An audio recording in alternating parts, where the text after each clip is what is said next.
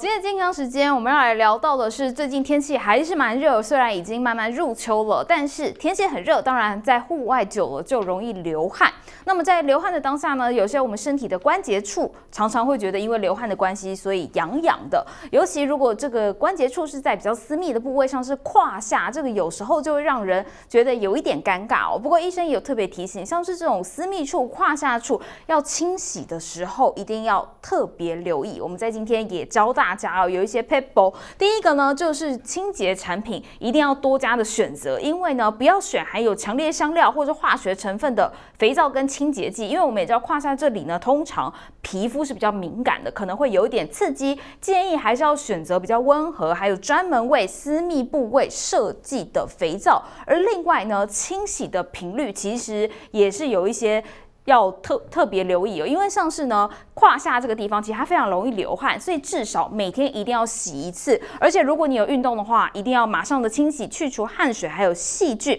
尤其医生也有提醒，性行为之后也要赶快清洗，防止细菌感染。而至于清洁的方式呢，有些人可能觉得，哎，流汗可能要大力的搓洗，不过这也不对哦。其实尽量要使用温水，不能用过热，也不能用过冷，这样很可能会刺激跟伤害我们的皮肤。也要避免过度的摩擦跟擦洗，最好是你洗完之后用柔软的毛巾轻轻的拭干。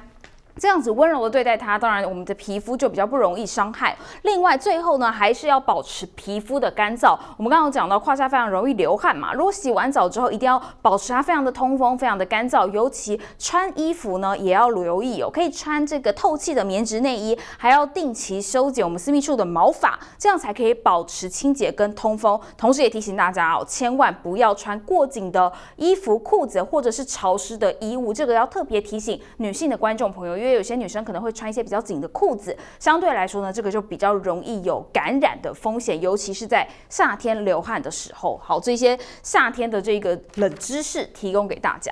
好，接下来我们要来看到的是中秋节快要到了，陆陆续续可能大家都已经开始吃柚子了。事实上，这个柚子其实是非常有营养的水果，但是有些柚子的品种热量还是特别高。我们来看到。一般来说，柚子其实它含有丰富的维他命 C，还有丰富的钾。那它的热量呢？如果一般来说，我们看到的文旦比较小颗的，大约。有两百四十到三百六十克的果肉，之果肉不含果皮哦。那热量大约是一百一十五到一百七十大卡，相对来说算是比较低。如果是白柚比较大颗的，当然相对也比较重。那如果把皮去掉，它的果肉大约有七百到八百公克。所以如果这一整颗白柚你都吃下去呢，热量换算下来大约就是一碗饭的热量。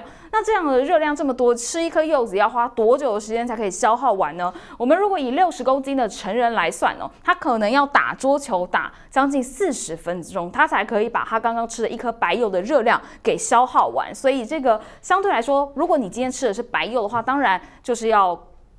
注意摄取量。如果一般健康的成人，一般国健署的建议，大概每天要吃两份的水果。那这两份呢，大约就是两百四十公克的果肉。如果是我们刚刚讲到的中型文旦，也就是一颗的量。那如果是白柚，这个比较大颗，热量比较高的，大概就是四遍。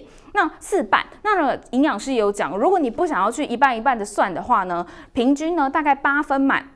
一碗就是大概一份一点五份左右，所以你就大概吃个一碗多一点点，这样其实就已经差不多达到你今日水果的热量的摄取量。不过有特别提醒，如果家里有糖尿病患者的话呢，一天不要吃超过两份水果。尤其最重要的是，就算你吃两份水果，其实它不能一次吃完，要分时段，可能早上吃一点，中午吃一点，晚上吃一点，这样子你的糖分才不会一次摄取过多，血糖突然的飙升太高。所以这个中秋节大家如果都要吃柚子，因为柚子。糖分还蛮高的，所以提醒大家要多留意了。好，下周就是中秋节了。那么我们知道，南韩这里呢，他们也是有过中秋节的。南韩民众今年中秋节连假一共有五天哦，所以很多人其实会返乡祭祖。那么在南韩呢，蔬菜水果的价格就非常明显，已经开始升高了。所以呢，南韩民众今年要过中秋节，就得要多掏一点钱出来。不过他们的政府呢，现在也出手来控制物价，同时也加大折扣，就是想要替民众审核中秋节是韩国人一年中最重要的节日之一，但今年中秋祭祖可能要比去年多花一些钱了。根据南韩物价协会的调查结果显示，四人家庭今年的祭祀费用在传统市场最少要花超过二十八万韩元，约六千七百元台币；大型超市需要四十万韩元以上，约九千六百台币。这是因为水果和蔬菜类价格比去年中秋节上涨了近百分之九点一。 한국농수산식품유통공사가 조사한 주요 성수품 가격을 봤더니 배추는 한 포기에 6,455원으로 1년 전보다 11.9%, 평년보다 13% 높은 것으로 나타났습니다.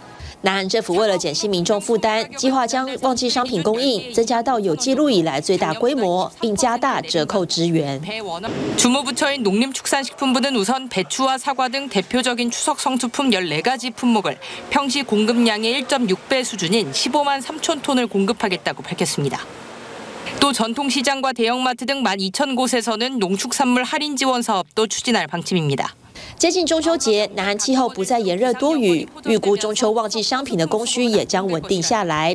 苹果和梨等人气水果礼品出货量将在中秋节前集中供应。首尔市内六十个传统市场同步举行最多七折优惠活动。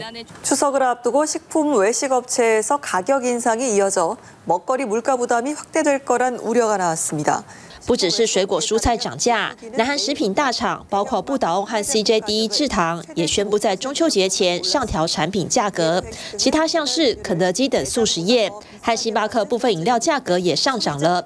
就在一片掌声之中，却有饼干零食业者逆势推出打折促销活动。 소비자들의 가격 부담을 덜어드리기 위해서 지난 10년 동안 가격 인상을 하지 않은 제품들도 추가적인 할인 행사를 준비해왔습니다. 요새 물가가 너무 비싸서 장 보는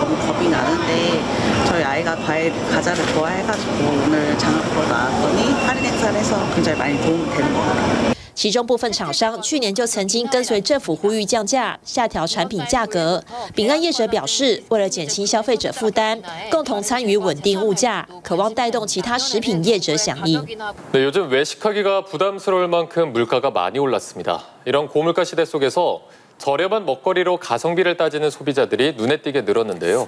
来到首尔这一间大型超市熟食区，预先做好了炸鸡，吸引许多消费者。这一盒炸鸡卖六千四百八十韩元，折合约一百五十五台币，比连锁炸鸡品牌一份动辄超过两万韩元的炸鸡便宜太多了。超市炸鸡上市以来，销售额和去年同比增加了约百分之七十。 6,000원대 가성비 치킨에 대한 수요가 높아지고 있습니다. 매일 준비되어 있는 물량이 모두 어, 완판되고 있습니다. 另一家超市也正推出百元台币左右的熟食产品，寿司、意大利面等料理均一价，减少容量、降低价格，让外食族轻松购入。高物价让民众减少外出用餐，连锁超市用低价熟食策略抓住消费者的心。TVBS 新闻综合报道。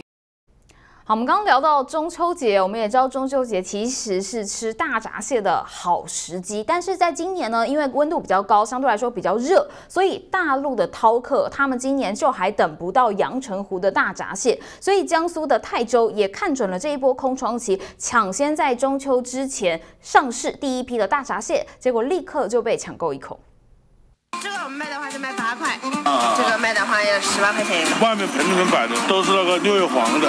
中秋节前后是螃蟹旺季，但连续高温席卷大陆多地，老饕敲完等待的阳澄湖大闸蟹与中秋节失之交臂，这也给皮薄肉甜的小螃蟹武汉六月黄抢占市场的黄金时间。一天一个变化，因为最近要过节了。主打高 CP 值的六月黄螃蟹价格逐年下降，今年每只不到十元人民币，且个头变得更小，每只约一点三至一点六两。天气热的话，螃蟹就不肯长个儿啊，是不是？就跟人一样嘛，一天气热了，你饭都吃不下。抢在中秋前上市的还有江苏泰州大闸蟹，但市场供应量不大，尝鲜价也跟着上涨，比二零二三年的每斤约七十元人民币高出不少。三两五的母蟹每斤能卖到一百元以上，一上市就抢购一空，供不应求。现在的订单还可以，呃，一天七八十箱，左右饭碗。